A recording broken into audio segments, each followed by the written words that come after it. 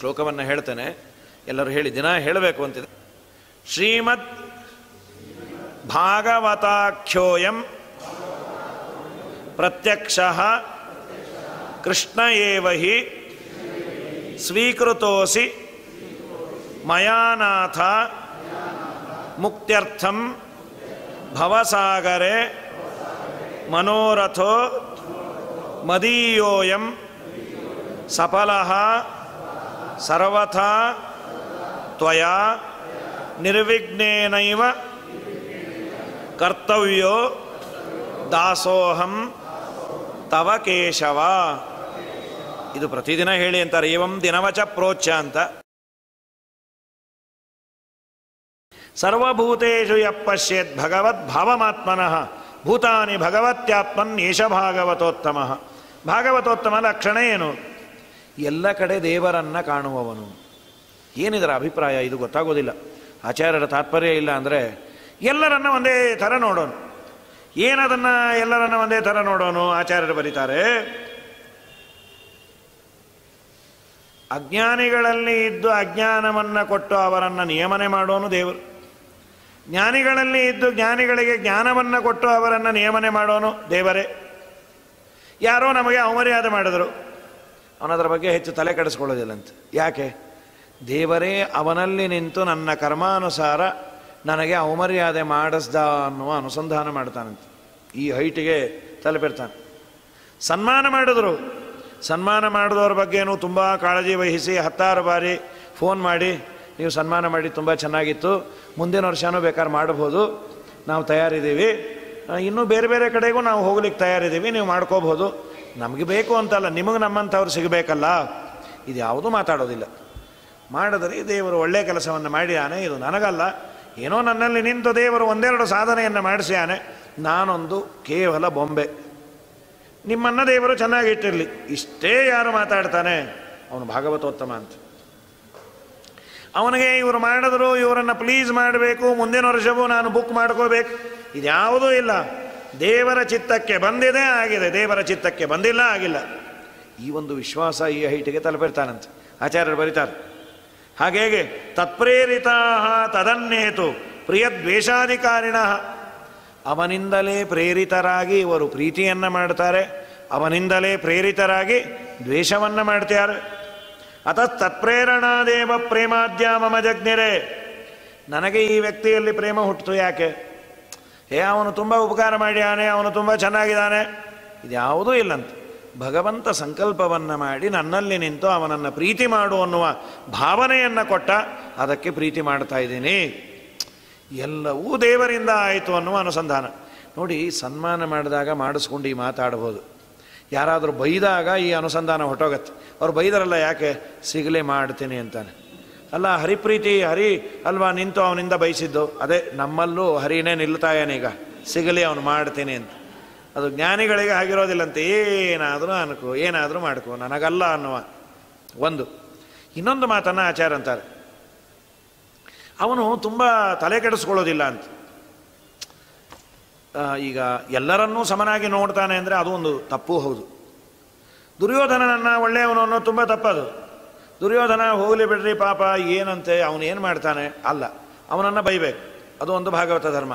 ಅಂಥೇಳಿ ಬೈತಾನೆ ಇರೋದು. ಸ್ನಾನ ಇಲ್ಲ, ಸಂಧ್ಯಾವಂದನ ಇಲ್ಲ, ಅದೊಂದು ಭಾಗವತ ಧರ್ಮ ಮಾಡ್ತೀನಪ್ಪ. ಬೆಳಗ್ಗೆ ಎದ್ದ ವೇಳೆ ದುರ್ಯೋಧನ, ಅಯೋಗ್ಯ, ಪಾಪಿ, ಮಹಾಪಾಪಿ, ಆ ದುರ್ಯೋಧನ ನನಗೆ ಸಿಗಲಿ. ಅಲ್ರಿ, ಸ್ನಾನ, ಸಂಧ್ಯಾವಂದನೆ ಇಲ್ಲ, ಇದೇ ಭಾಗವತ ಧರ್ಮ. ಎಷ್ಟು ಬೈಬೇಕು, ಅಷ್ಟು ಬೈ. ದುರ್ಯೋಧನ, ಅಯೋಗ್ಯ, ಒಂದು ಐದು ನಿಮಿಷ ಬೈ. ಆಮೇಲೆ ಮಾಡು ವಾಯುಸ್ತುತಿ ಪಾರಾಯಣ ಮಾಡು. ಇಲ್ಲ ಇಲ್ಲ ಇಲ್ಲ, ಈ ಜನ್ಮ ಪೂರ್ಣ ದುರ್ಯೋಧನನ್ನೇ ಬೈತೇನೆ ಅಂದರೆ ಅದಕ್ಕೆ ಅರ್ಥವೇ ಇಲ್ಲ. ಎಷ್ಟು ಬೇಕೋ ಅಷ್ಟನ್ನು ಮಾಡು ಅಂತ. ಇದಾದ ಮೇಲೆ ಭಾಗವತ ಮಧ್ಯಮ ಅಂದರೆ ಯಾರು? ಯಾರನ್ನ ಕರಿಬೇಕು? ಈಶ್ವರೇ ತದಧೀನೇಶು. ಬಾಲಿಶೇಷು ದ್ವಿಧತ್ಸು ಚ ಪ್ರೇಮ ಮೈತ್ರಿ ಕೃಪಾಪೇಕ್ಷೆ ಎಕ್ಕರೋತಿ ಸ ಸಮಧ್ಯಮ. ಮಧ್ಯಮ ಭಾಗವತನ ಲಕ್ಷಣ ಏನು ಗೊತ್ತಾ? ಈಶ್ವರನಲ್ಲಿ ಭಕ್ತಿ, ಅಂದರೆ ದೇವರಲ್ಲಿ ಭಕ್ತಿ. ದೇವರ ಭಕ್ತರಿದಾರಲ್ಲ, ಅವರಲ್ಲಿ ಸ್ನೇಹ,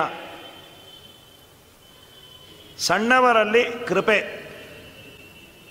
ಇದು ಸರಿಯಾಗೇ ಇದೆಯಲ್ಲ? ದೇವರಲ್ಲಿ ಭಕ್ತಿ, ದೇವರ ಭಕ್ತರಲ್ಲಿ ಪ್ರೀತಿ, ಸಣ್ಣವರಲ್ಲಿ ಕೃಪೆ. ನೋಡಲಿಕ್ಕೆ ಸರಿ ಇದೆ, ಆಚಾರ್ಯರಂತಾರೆ. ಇವನಿಗೆ ಒಂದು ಕಾನ್ಸೆಪ್ಟ್ ಹೋಯಿತು. ಎಲ್ಲವೂ ಶ್ರೀಹರಿಯಿಂದಲೇ ಆಯಿತು ಅನ್ನೋದು ಹೋಯಿತು ಅಂತ.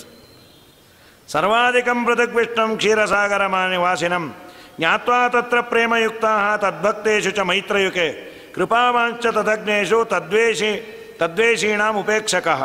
ತದ್ವಶತ್ವಂ ನ ಜಾನಾತಿ ಸರ್ವಸ್ಯ ಜಗತೋಪಿತು. ಎಲ್ಲವೂ ಅವನ ವಶದಲ್ಲಿ ಇದೆ ಅನ್ನೋದು ಅವನಿಗೆ ಮರ್ತೋಯ್ತು ಆದ್ದರಿಂದ ಅವನು ಮಧ್ಯಮ ಭಕ್ತ. ಅಧಮ ಭಕ್ತ ಯಾರು? ಇವೊಂದು ತುಂಬ ವರ್ಸ್ಟ್ ಅರ್ಚಾಯಾಮೇವ ಹರಯೆ ಪ್ರತಿಮೆಯಲ್ಲಿ ಮಾತ್ರ ದೇವರು. ಅದು ಇನ್ನೂ ಸ್ವಲ್ಪ ಮುಂದೆ ಹೋದರೆ ನಮ್ಮನೆ ಪ್ರತಿಮೆಯಲ್ಲಿ ಮಾತ್ರ ದೇವರು. ಅರ್ಚಾಯಾಮೇವ ಹರಯೆ ಪೂಜಾಮ್ಯ ಶ್ರದ್ಧೆಯೇ ಹತೆ. ಭಾಗವತ ಅನ್ನತೆ ಆಚಾರ್ಯರು ತುಂಬ ಸುಂದರವಾದ ತಾತ್ಪರ್ಯವನ್ನು ಕೊಡ್ತಾರೆ. ಸರ್ವತ್ರ ವ್ಯಾಪ್ತನಾದ ದೇವರನ್ನು ನೋಡೋ ಯೋಗ್ಯತೆ ನನಗಿಲ್ಲ. ಆದ್ದರಿಂದ ನಾನು ಪ್ರತಿಮೆಯನ್ನು ಪೂಜೆ ಮಾಡ್ತಾ ಇದ್ದೀನಿ. ಇಲ್ಲಿ ಮಾತ್ರ ಇದ್ದಾನೆ ಅಂತಲ್ಲ, ಎಲ್ಲ ಕಡೆ ವ್ಯಾಪ್ತನಾಗಿದ್ದಾನೆ ಅಂತ ಅನ್ನಬೇಕು. ಇನ್ನೊಬ್ಬರು ಮಾಡುವ ಸಜ್ಜನಿಕ ಸ ಒಳ್ಳೆಯ ಕೆಲಸವನ್ನು ಒಪ್ಪಿಕೊಳ್ಳುವ ಹೃದಯ ವೈಶಾಲ್ಯತೆ ಇರಬೇಕಂತೆ. ಅವನು ಮಾತ್ರ ಭಾಗವತ ಅಂತಾರೆ. ಇನ್ನೊಬ್ಬರು ಮಾಡುವುದರ ಬಗ್ಗೆ ನಮಗೆ ಏನೂ ಏನೂ ಕಿಮ್ಮತ್ತಿಲ್ಲ. ಅವನು ಏನು ಮಾಡಿದ್ರು ಅದನ್ನು ಬೈಯೋದು ಅವನು ಪೂಜೆ ಮಾಡ್ದ, ಅವನು ಪೂಜೆ ಏನ್ರಿ? ಅಲ್ಲ, ಅವನು ತಣ್ಣೀರು ಸ್ನಾನ ಮಾಡೇ ಮಾಡ್ತಾನೆ. ಅಯ್ಯ, ಅವನು ಏನು ಸ್ನಾನ ಮಾಡಿದ್ರೂ ಆ ಪ್ರಯೋಜನ ಇಲ್ಲ. ಯಾಕೆ? ಅದೆಲ್ಲ ಹೇಳೋಕ್ಕಾಗಲ್ಲ, ಬಿಡಿ. ಸರಿ. ಏಕಾದಶಿ. ನಿಮಗೂ ಅವ್ರಿಗೂ ಒಂದೇ ಏಕಾದಶಿ ಬಂದಿದೆಯಲ್ಲ? ಏನೋ ಬೇರೆ ಬೇರೆ ಬಂದರೆ ಸರಿ, ಅವರು ಸರಿ ಇಲ್ಲ, ನಮಗೆ ಸರಿ, ಹೀಗೆ ವಾದ ಮಾಡುವ. ಇಬ್ಬರಿಗೂ ಒಂದೇ ಏಕಾದಶಿ. ಅದನ್ನಾದರೂ ಒಪ್ಕೋತೀಯಾ? ಇಲ್ಲ, ಅವ್ರ ಏಕಾದಶಿ ಪ್ರಯೋಜನ ಇಲ್ಲ ರೀ. ಅವನು ಏನು ಏಕಾದಶಿ ಮಾಡಿದ್ರು ಪುಣ್ಯ ಬರ ಯಾಕಪ್ಪ? ಅದೆಲ್ಲ ಬಿಡಿ. ಅವನು ಏಕಾದಶಿ ಏನೋ ಮಾಡ್ತಾನೆ, ಆದರೆ ಏನು ಮಾಡ್ತಾನೆ ಗೊತ್ತಾ ಅವನು? ಕೇಳ್ತಾನೆ ಇರ್ತಾನೆ ಹೆಂಡತಿನ, ನಾಳೆ ಗಂಜಿ ಮಾಡ್ತೀಯಾ, ಗೊಜ್ಜು ಮಾಡ್ತೀಯಾ? ಗಂಜಿ ಮಾಡ್ತೀಯಾ, ಗೊಜ್ಜು ಮಾಡ್ತೀಯ? ಸರಿ, ಅದು ಕೇಳಬಾರ್ದಾಗಿತ್ತು, ಆಯಿತು. ನೀ ಏನು ಮಾಡ್ತಿ? ನಾನು ಕೇಳೋದಿಲ್ಲ, ಎಲ್ಲ ಹೆಚ್ಚಿಟ್ಕೊಂಡು ಕೂತ್ಕೊಂಡ್ಬಿಡ್ತೀನಿ.